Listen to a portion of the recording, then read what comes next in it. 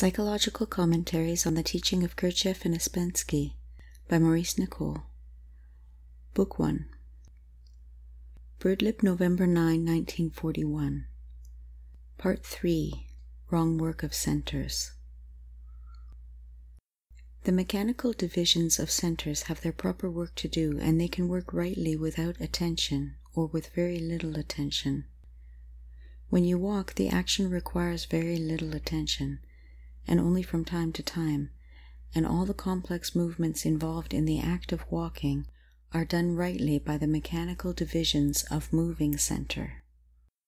You can prove that this is done by the mechanical division of moving center because while walking your hands can be engaged in movements that require conscious direction, i.e., attention, as in sharpening a pencil or unraveling string, and so on.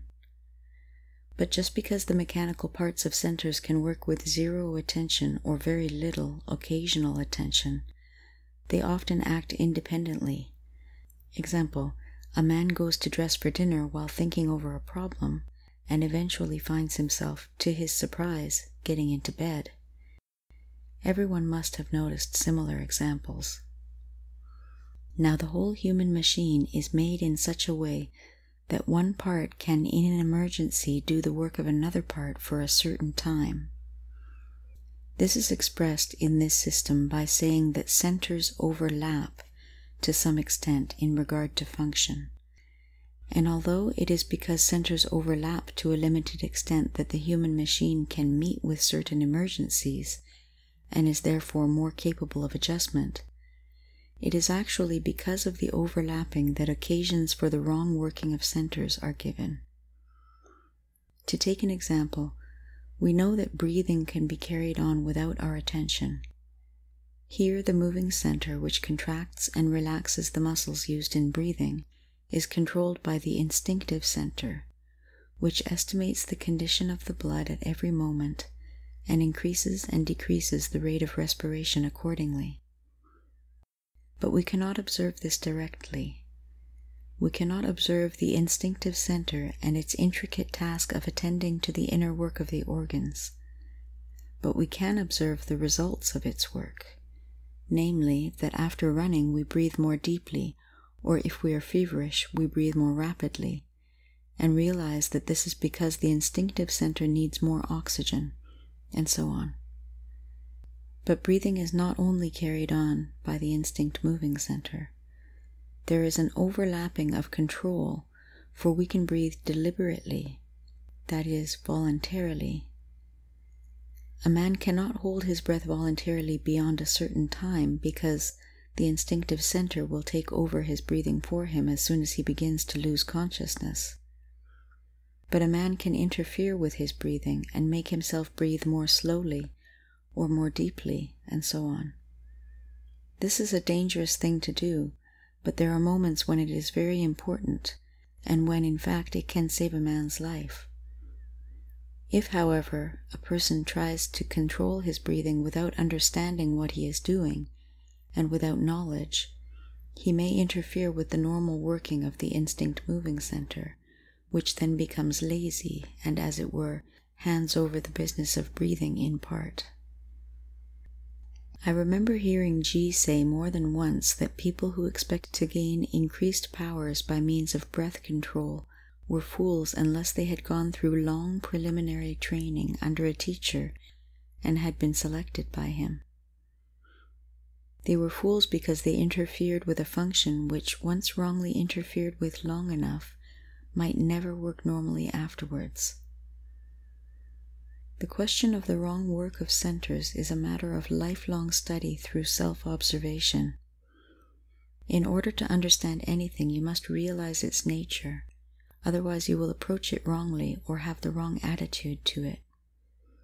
You cannot understand about centers and their right and wrong work just in a moment. If you think you can, you will ask the wrong questions and indeed never take in anything about the subject. Think a moment. All your life is a function of and is controlled by centers. Your thoughts, your feelings, your ideas, your hopes, fears, loves, hates, your actions, your sensations, your pleasures, your comforts, and so on. How then can you expect to understand all about right and wrong work of centers in a short time? To do so is like expecting to understand all about life after hearing a lecture or two on it. What has been said so far is only to give you some indication of what is meant and to make you begin to study the subject. And unless you study it by self observation, then even if you hear a thousand and one lectures on the matter, you will not understand a single thing. Now, it is necessary to give the division of other centers so that people have some general chart to use, to find their way by, and to which they can refer some of their own observations of themselves and find where they belong, for this helps one to see oneself more clearly. I will now have to divide certain centers into positive and negative divisions, first of all, and then fill in here and there at present only some of the subdivisions, giving approximate definitions of their functions. Let us begin with the intellectual center. See Figure 1, Intellectual Center.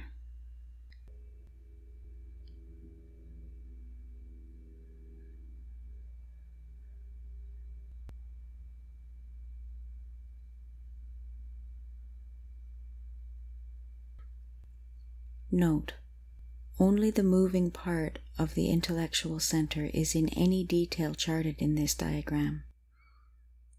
Note here the difference between emotional part of moving part of intellectual center and the emotional part of intellectual center as a whole. Notice what is meant. See figure 2, emotional center.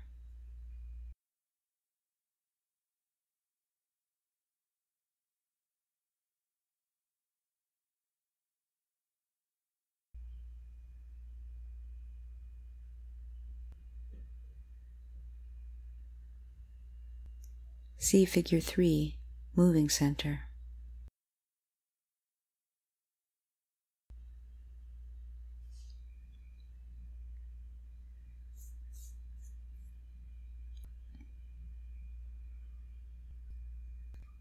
See Figure 4, Instinctive Center.